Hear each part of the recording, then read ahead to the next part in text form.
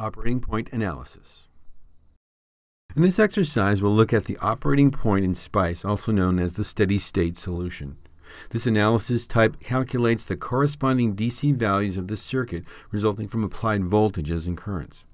The resulting values displayed in the waveform viewer are taken when the circuit has reached steady state and is no longer changing. Steady state bias point values are calculated for device current, node voltage, device power, and impedance. Operating point calculations are automatically performed for transient AC small signal noise and pole zero analysis to determine the linearized small signal models for nonlinear devices in the same fashion. In this example, we're going to set up voltage sources as a means to quickly check uh, global parameter expression values. To begin with, download the starting design files.zip file that is located in the eLearn uh, page. Then you can open up the project, and we'll do that with File Open. Navigate to the desktop where you have those files situated and open up that PRJ PCB file. Once you do that, you should see one schematic called Global Params. And if you open that up, you'll have this schematic visible. Add in some voltage sources. We do that from the libraries panel.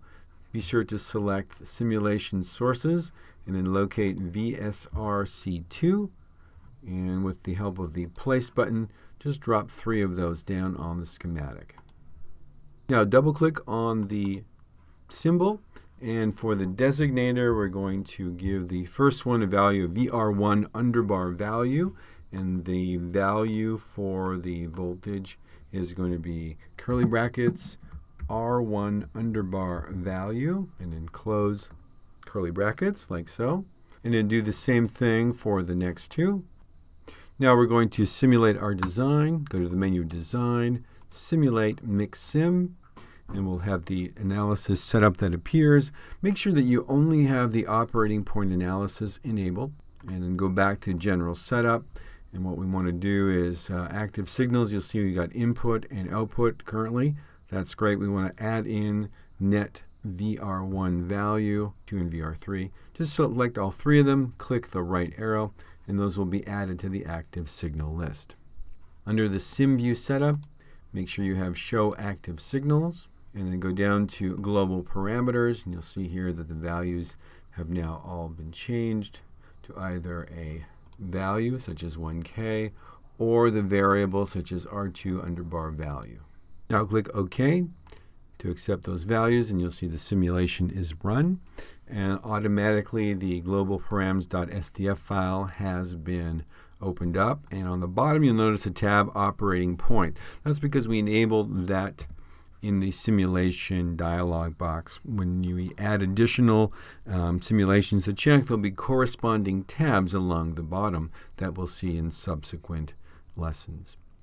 But for now, we can see that we've got uh, input of 0 volts, output of 0 volts, and then the net VR 1, 2, and 3 values as shown here. Now, just to show you the correlation, if we go back to the schematic and then run the simulation again, we can add an additional signal. For example, we might add in C2 to our list. And then when we click OK to run the simulation, you notice that C2 now appears in our global parameters list. So anything that we identify in the dialog as a signal to, um, to observe will appear in the operating point tab. Now we're going to go back to our schematic and then change the value of our signal voltage. So V1 um, is the designator, of course. Um, if we go to the um, the model section and then click on the edit button, we will access the uh, dialog for the uh, sim model. And if we go to that second tab, parameters, we can change any of these things just to see that it does propagate through to simulation. We're going to change our DC magnitude to 5 volts. Click OK to accept that. Click OK to dismiss the properties. And now if we run the simulation again, design, simulate, mix sim, and let's remove C2 here by clicking on the left facing arrow and then accept everything else. Click OK. You'll see that the input now shown is 5 volts. So that change to our source in the schematic, which we made right here, has now propagated out to the simulation.